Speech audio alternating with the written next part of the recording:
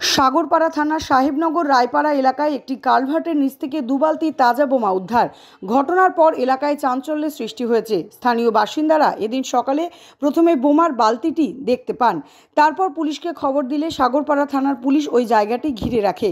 কে বা কারা কালভার্টের নিচে বোমাগুলি রেখেছে তা এখনও জানা যায়নি। এখনও বোমাগুলি নিষ্ক্রিয় করা হয়নি।